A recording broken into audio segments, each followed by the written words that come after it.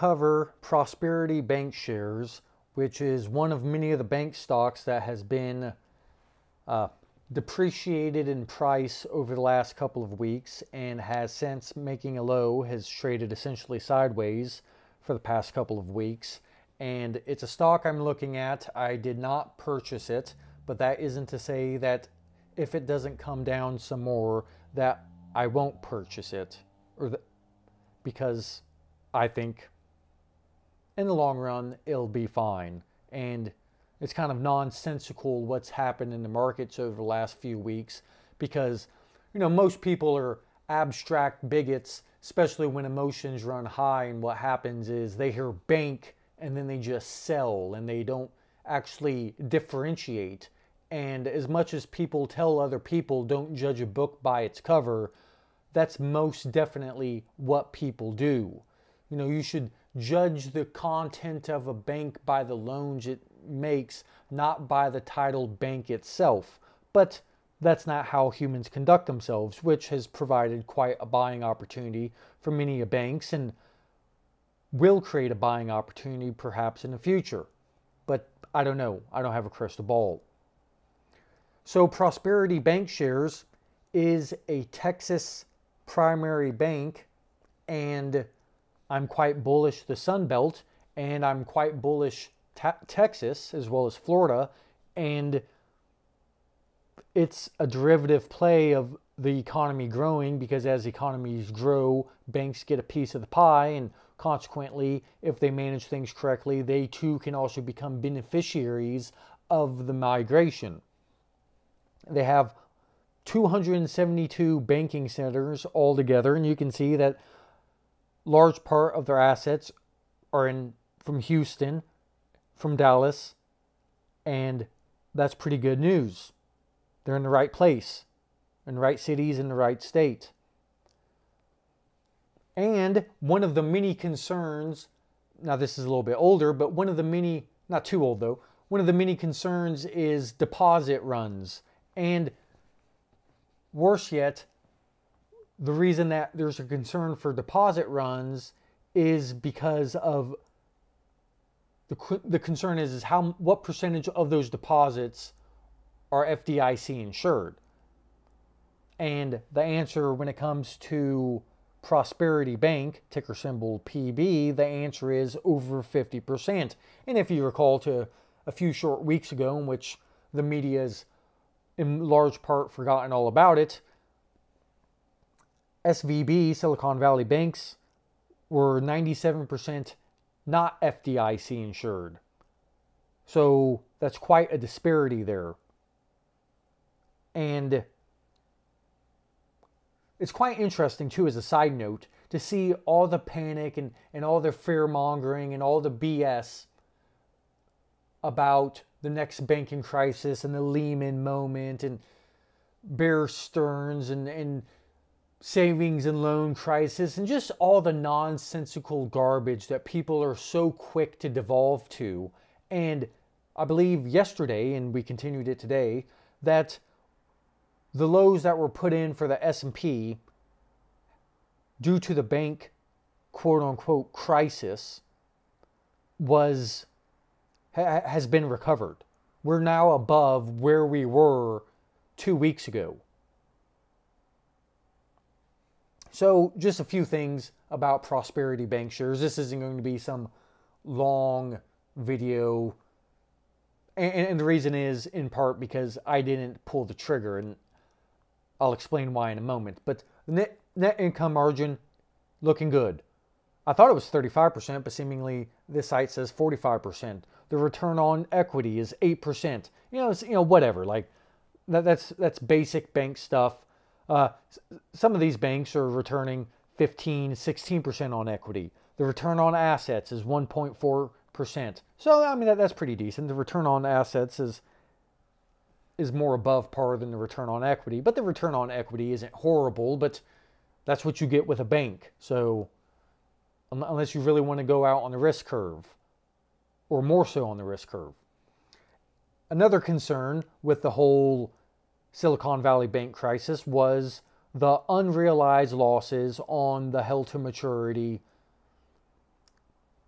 investments in securities. And their unrealized losses on the held to maturity portion of their portfolio is isn't the best, but it's also not the worst. It's not going to wipe out the equity because Silicon Valley Bank, I believe, was negative. They had negative equity. They had negative negative capital, bank capital. And most banks are not in that position, and Prosperity Bank Shares is also not in that position. And unfortunately, oh, unfortunately, since they're below $50 billion in assets, there's a lot of information that other banking companies have to provide, as well as supplemental information that makes it a lot easier because one of the cool things I actually liked about Silicon Valley Bank is in their supplemental information, they actually had total shareholder equity and they calculated it for you and presented it. And, and it was, it was if you look for it, it was right there. Prosperity Bancshares, as, as well as many of these other banks, do not provide that supplemental information and, and unnecessary information like the liquidity coverage they also don't provide that. I mean, you can go in and calculate it and so on and so forth. And I just ran some quick numbers, so I, I didn't provide the numbers. But nonetheless, they have positive equity even once you recognize the unrealized losses. So, since they're a Texas company, their loan book is vulnerable to things because they're trying to make money off of the growth of Texas, reasonably enough. And uh, as it says, approximately 79.9% of the company's total loans as of December 31st, 2022, consisted, consisted of loans including in the real estate loan portfolio, with 29.2% in commercial real estate, including farmland and multifamily residential, 35.8% in residential real estate, including home equity, and 14.9% in construction, land development, and other land loans. Then it goes on to say, as of December 31st, 2022, commercial real estate, because that's the new big scare, that's the next leg to fall, which it actually might be, we'll see, is that banks are highly leveraged, especially the more smaller banks, are have a high exposure to commercial real estate. So it goes on to say that its commercial real estate loans total $8.10 billion. And put that in perspective, they have around $37 billion in assets. So what I was saying a moment ago was banks with more than $50 billion. So let me let me speak this in inverse. Banks with less than $50 billion in assets are not required to complete the Board of Governors of the Federal Reserve System's report. They do not have to fill out an FRY 15 systemic risk report, which would be nice. And here's a chart of all the varying tiers and categories. The globally, on the left hand column, you have the globally systemic important banks. And that would be, oh, the big eight there will be a link in the description. If you click on this, the other slide in this link actually names those eight banks, go, you know, uh, J.P. Morgan, Bank of America, so on and so forth. And so we're in the far right hand column when it comes to Prosperity Bank, which is unfortunate because they're allowed to opt out of the AOCI capital impact, and they don't have to report on a lot of things. They don't have to report on the uh, the high liquidity stuff. They don't they don't have to report on their LCRs. They don't they don't have to report on a lot of stuff. I mean, that, that, that's the whole point. I mean, we can get into the technicals and the acronyms and explain it and blah, blah, blah, and no one really cares. The, the point of all this is, is that they're flying under the radar. There's all kinds of stuff that a bank could report that they're not reporting. So trust but verify, do your due diligence, so on and so forth. They have a fantastic dividend history, which is incredible that during the great financial crisis that not only did they not remove their dividend, not only did they not cut their dividend, but they actually grew their dividend.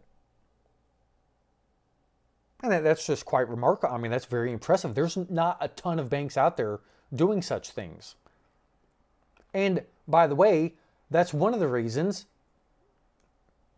By the way, that's one of the reasons dividend history like this, not going largely out on the risk curve and, and performing reasonably well, is why it's trading the way it trades. That's why it's down 20% and not 40 or 60 or 80%.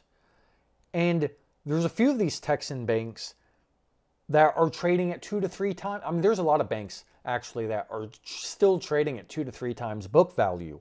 Right now, Prosperity Bancshares is trading at, call it a 10, 11 PE, 3.5% dividend yield, and price to book at about 80 cents on the dollar, which is another reason why I was looking at it. I, I just can't pull the trigger. One of the reasons looking from a chart perspective is, as you can see throughout the years that they normally have around a 30 to 40% drop. Right now, like I say, we're at a 20% drop. That's the bottom right hand chart. Where will it go? I don't know. But to another chart, it topped out at $80. If it fell to $50, that would be pretty close in line with a 40% drop. Now, right now it's trading at $60, which means it would have to fall another $10, which, roughly speaking, it'd have to fall another 15 to 20%. I would then be interested in buying it at that two decade, over two decade support line. And right now we're at about the middle line. And it very well could bounce. You could see there in, well, let's call it 2012, it kind of peaked its head at around $45 and then bounced off this green trend line. And then, you know, it, it, it didn't fall to the red support line for numerous years. I don't know. But I can tell you one thing, and that's it's not the most attractive chart in the last it's it's gone nowhere essentially in seven years. Actually, 10 years. If you bought at $60 in 2013, you're at $60. Now, you would have accumulated a, a dividend along, along the way, and fair enough, but it's just something to think about. So, with that said, in the past week, I topped off some Transocean and I topped off some Kinross. And I'm not really interested in topping off any more above this. So if it doesn't fall anymore, then I guess I'm stuck with the positions I have. And uranium bounced back. I, am up about six or seven percent on the portfolio this week for this week, not for the month because I'm at, I'm down for the month. I'm actually going to start at the end of the month reporting my monthly performance. January was like 15%.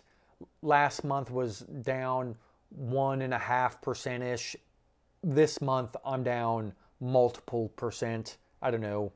I'm not. I'm not going to say for now, but I definitely underperformed the S&P and definitely the Nasdaq this month.